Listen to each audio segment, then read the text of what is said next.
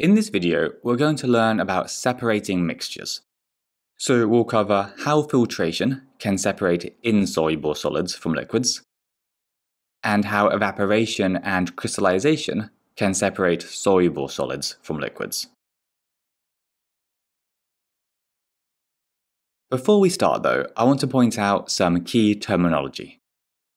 First, as this video is all about separating mixtures, a mixture is defined as two or more different types of substances that are mixed together in the same place, and importantly, that aren't chemically joined. Some mixtures are formed when we mix together an insoluble solid, which means it can't dissolve, and a liquid. In this case, the solid doesn't dissolve, it just sinks to the bottom of the liquid, like when we mix sand with water. Another common type of mixture are solutions, which are formed when one substance, the solute, dissolves in another substance, the solvent. A classic example of this is the soluble solid salt dissolving in water to form salt water. In this case, the salt is the solute, the water is the solvent, and the salt water is the solution. As the different substances in mixtures aren't chemically joined, we can separate them using a few different physical techniques. Which technique we use depends on whether we're separating insoluble solids from liquids or soluble solids from solutions.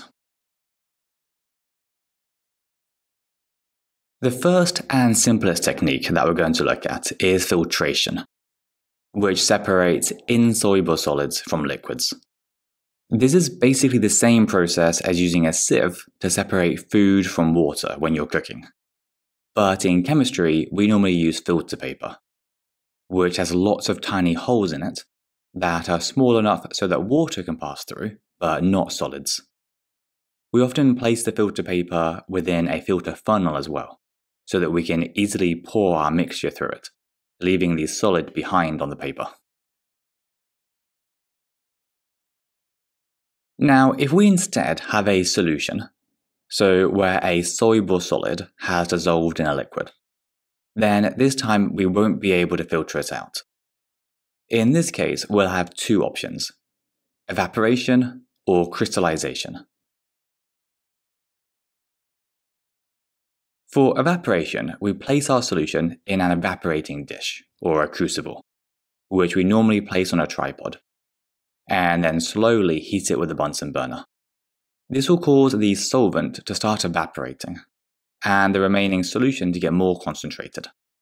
After a while, crystals will start to form because it's so concentrated, and eventually all of the solvent will disappear, leaving us with dry crystals of our solid.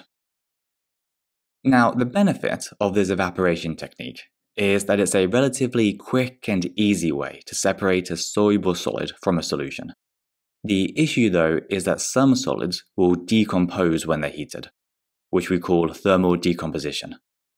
So, even though we could use this technique to isolate the solid, we'd end up breaking it down into something else. This means that for solids that are susceptible to thermal decomposition, we have to use a slightly slower technique called crystallization. The first step of this method is still to place our solution into an evaporating dish and heat it. But this time we need to heat it more gently. So we might use a water bath instead of a Bunsen burner. Then once some of the solvent has evaporated and we start to see crystals forming in the solution, we stop heating it and leave it to cool. As the solution cools, more and more crystals will form because solids are less soluble at colder temperatures. The next thing we'd have to do is filter out these crystals from the remaining solution using filter paper and a funnel. And then the last step would be to dry our crystals by either leaving them somewhere warm or warming them up in a drying oven.